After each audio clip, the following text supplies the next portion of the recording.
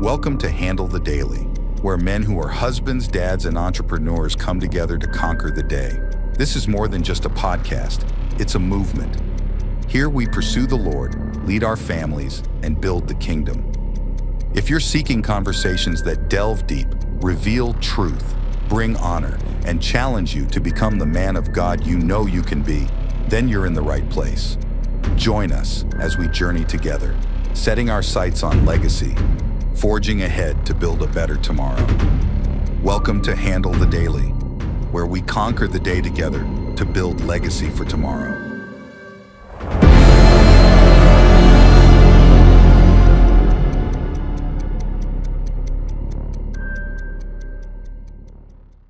Hey, everybody, welcome to this episode of Handle the Daily. And today is a Friday episode. And today we've got Cory Akin on. And in our last episode with Cory, he talked about how he does a family text message and they call it the family mafia. What we're going to talk about today is the importance of communication, whether it's communicated in a way that is received or not, but it's about the obedient side of it. And I think you've got a lot that you can really give some good counsel, some good wisdom, and advice on. And guys, strap in. Let's go. Will you lead us in prayer on this episode? I will.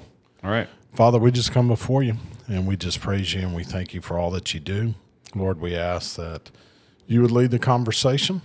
And Father, that those that are listening, Father, that you know who needs to hear what you're wanting us to share today. And Father, most of all, we just want to glorify you mm-hmm. and we give you all the praise and thank you for all that you do. We pray this in Christ's name. Amen. Amen. So, why is communication with your family so important? Because they need something besides the world's voice. As simple as that. I don't even know how to ask another question beyond that because it, it, it, it, it needs to be that simple. I think everything is so complicated and everybody needs to just realize like it actually can be so simple. So how did this start and why did it start and what is it? Like what's what's this way that you communicate and why in the world do you call it the family mafia? Well, it started before the family mafia, before everybody had a text and my daughter went to college. Yeah. Where it started and the Lord gave it to me is we had dealt with spiritual warfare as a family. Mm-hmm. And I started to realize and listening to my kids when they came home from school, the inputs that they were getting. Yeah. You know, they would get inputs from mom and dad, but they needed more. And uh, I can't believe I'm sharing this story. This is going to crack you up. But, and you too. I'm, I'm going to, you know, patent this, I think, now that I'm going to share it. But the only place that I knew my kids were sitting and being quiet was when they went to the bathroom. And so, as a, I can't believe I'm sharing this. So, as a dad, I got a whiteboard and I hung it on the wall right across from the toilet. And in there, I started putting phrases about who they were and putting scripture and quoting key leaders that you know those nuggets of wisdom yeah and i would change it out every single week it's good so my kids right or wrong when they sat down and when we had guests that went in they were looking right at that board it was at eye level it was the i give a crap board yeah it no, it, it, exactly. But it was just something that was burning on my heart because, yeah.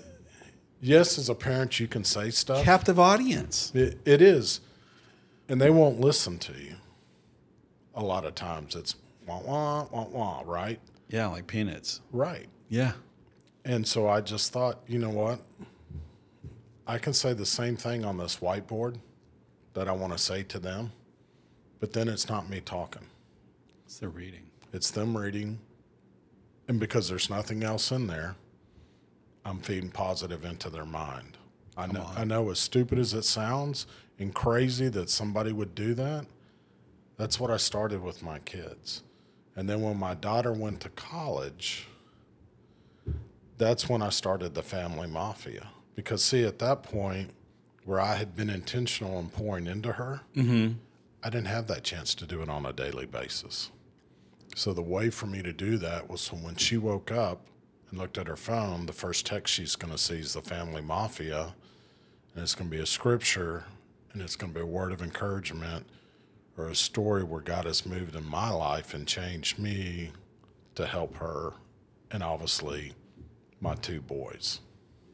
So how long has this text thread been going on? Well, she's 30, so 13 years. Still do it today. Now, mom's gotten in on the gig. She wants a day. So it's Monday morning mafia with mom. That's a mouthful. and uh, I'm the emotional, you know, just share it all out. Shannon is the systematic Bible study fellowship trained. Let me go look up the words. and so our two posts look drastically different. I I don't have my wife's gifting. I'm the lucky dip guy, and what I mean by that is pull flop open my Bible, put my finger, and that's where I start reading. But you know what? God still speaks to me. Right? But I have gotten better of reading through the Bible, but I still do the lucky dip method. Now my wife, it's a systematic Bible study for her quiet time. And uh, and we just people learn differently.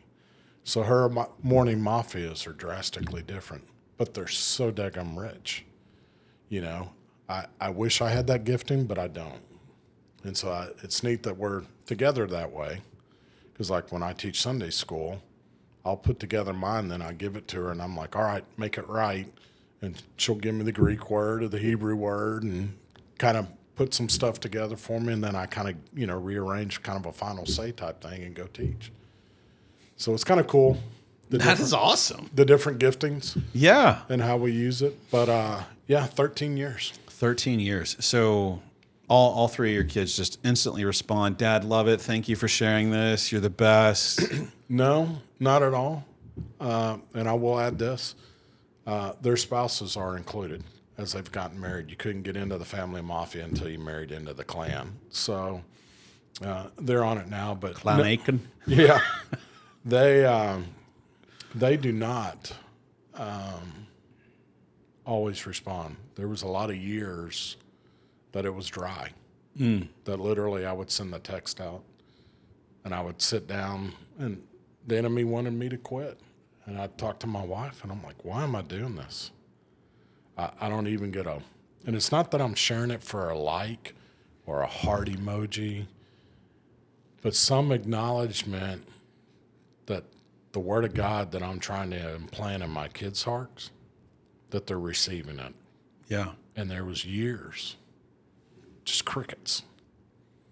And my wife, in her wisdom, said, God called you to do this, didn't he? And I said, Yeah. And she says, Has he called you to stop? And I said, No. Then she goes, Obedience is not an option. I mean, disobedience is not an option. And so I've done that. Now, one of the funniest stories related to that is my son-in-law, who non-emotional, big guy. uh, I just hug him now to make him uncomfortable.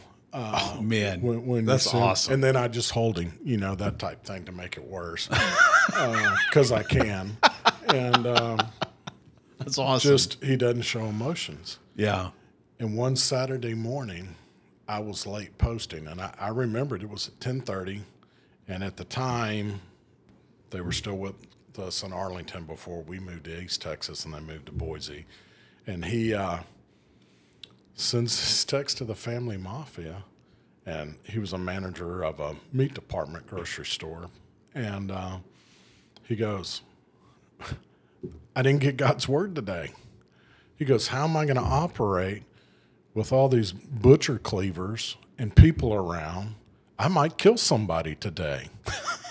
I mean, tongue in cheek, but not tongue in cheek. yeah, it could be knife in head. But I'm just kidding. That was a moment for me of God giving me a small glimpse that while He has never responded to any of those texts, God was still feeding my son-in-law's heart. He, he's thriving off of them. He is. I mean, like I can text him. I text um, my in-law kids once a week on Mondays and let them know I'm praying them. Now my kids, I text every single day outside the family mafia of, "Hey, I love you and I'm praying for you," because I feel as a father, they need to hear those words every single day of their life Yeah. even though they're out, they're 30, 28, and 24 right now.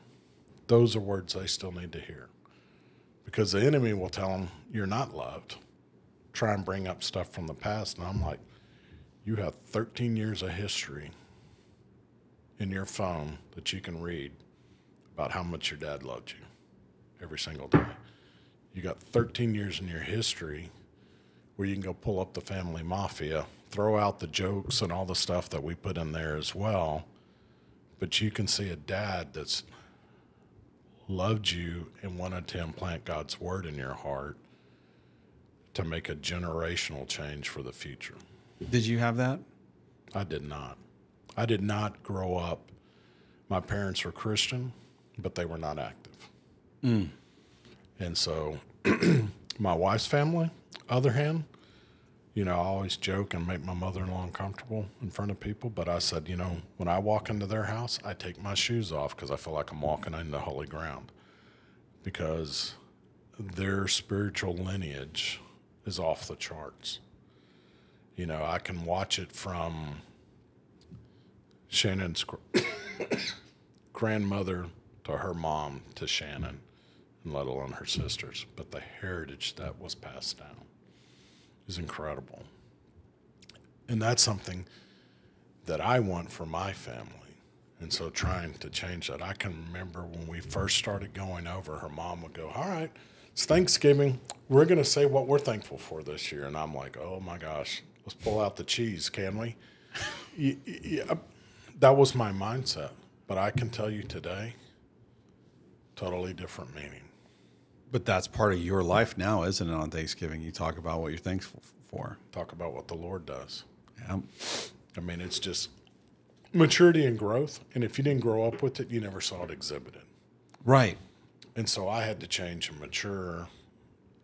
And now I cherish things within her family that I would tell you when we first got married, I'm like, that is the stupidest thing. I can't believe we're doing this. You know, type thing. I'm like, you guys are way over the top. And now it's just like, I get it. Yeah. Yeah, one of the things we did growing up, my dad's mom, I called her the queen of birthdays. Every kid's birthday, every grandkid birthday, every everybody's birthday was of the utmost importance to her. Mm-hmm.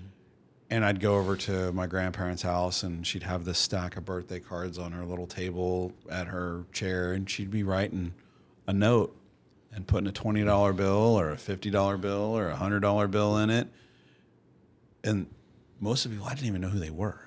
Right. But whenever it was us, her family that was in proximity, oh man, she would tell us why she loved us. And so one of the things that we started doing in my family a few years ago is when it's someone's birthday, we all go around the table. And it's at home. We don't go out to eat. We we make the meal they like. Yep. We make the cake they like, and then we celebrate them. But then we pray over them, prophesy over them, and pour into them, and record it Oh, that's nice. on audio. And to go back and to just listen to those words of affirmation, those "Oh, I am thankful for you," or mm-hmm. "Here's a prophetic word," like "Oh my gosh!" And then my wife, we've been together two years as of today. Oh, congrats. Yeah, we started dating two years ago. Two weeks later, got engaged, and two and a half months later, got married. Wow. Shotgun that whole thing. But that's something that I introduced her to when we first started dating and everything. Mm-hmm. And it's like, she loves it now. And so just to see things that you would do in a family that someone would think was off, like that was something that I grew up with. And whenever mm-hmm. we would see like my cousins, they'd get married and then their spouses would come in and they're like, why does grandma do this for our birthday? And she's like, It's the day God said you needed to be here. That's beautiful. We do similar. We go Yeah. we go around on birthdays. Yeah. We've done it forever. But say, this is the reason why we love you. It's so awesome. It is. Because enemy likes to pit kids against kids in the family. Everybody knows everybody's warts. And by our selfish nature, that's usually our first response is the negative, not the positive. Right. And so to be able to combat, go, no, they actually really do love you. Yeah. Got you got to have at least that one day Yep. or a few days.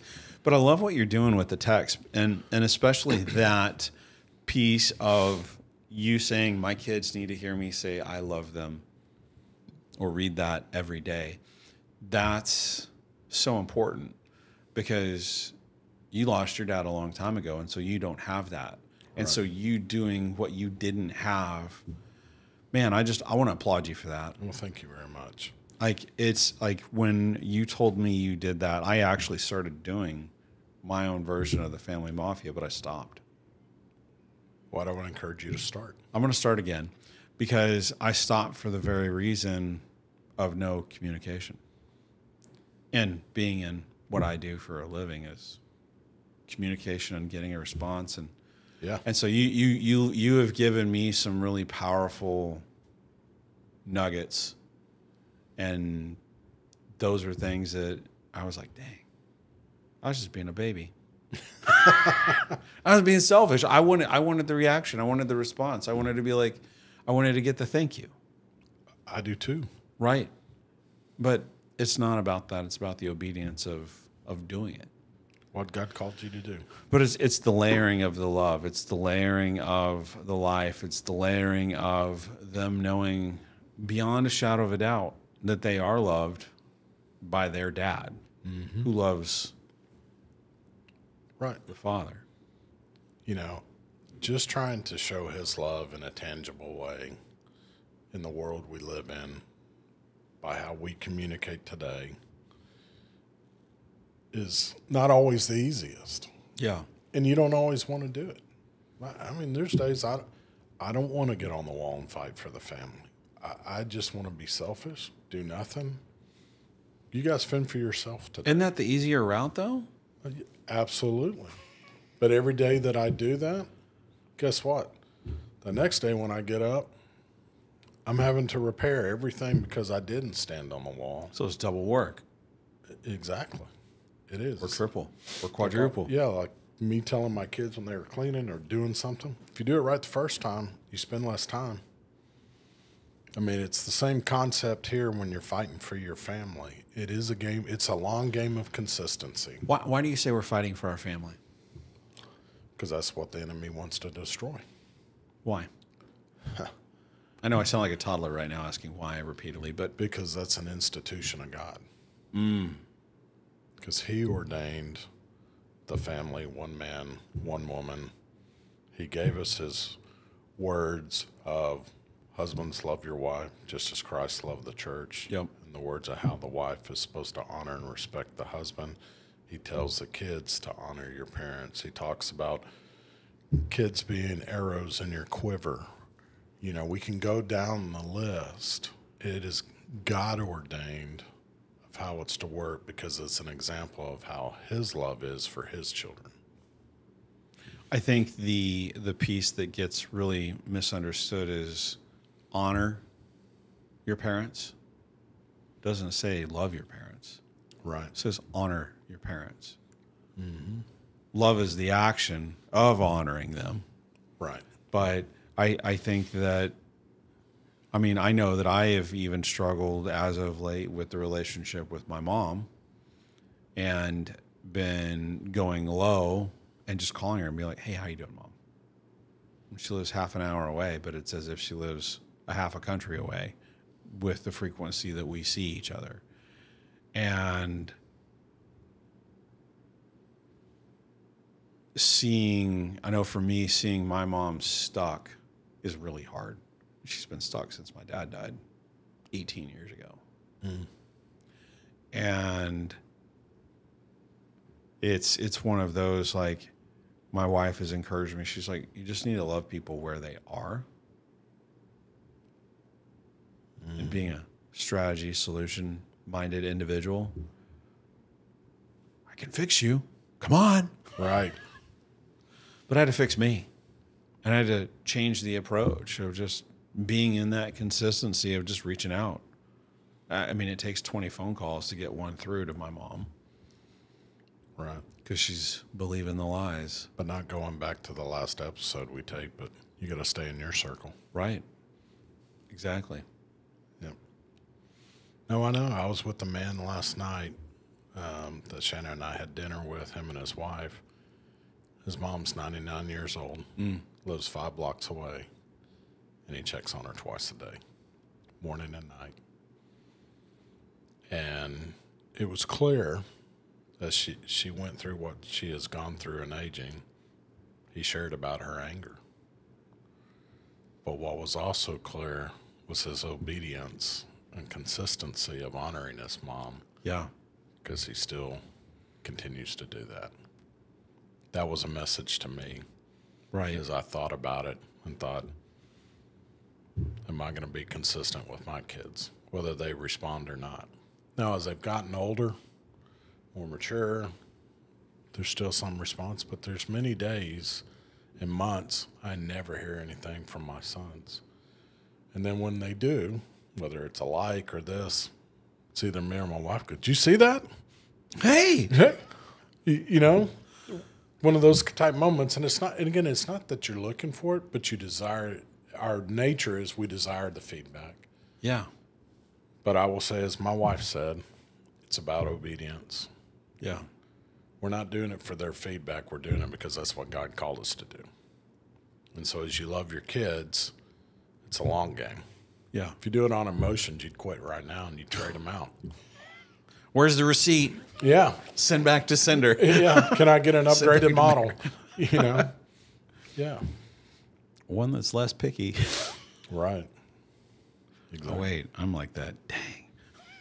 Exactly. So, oftentimes the biggest thing is just getting started with doing the tech stuff. But mm-hmm. then you're saying it's even sometimes more challenging to keep it going. I think so. So what?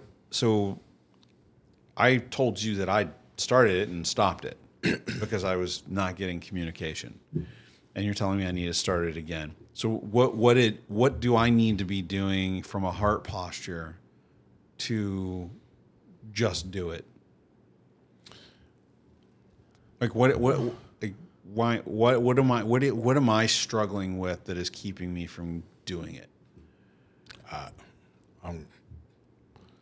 I was going to uh, filter my words, but I'm just going to share what the Lord, the word He gave me is. Yeah.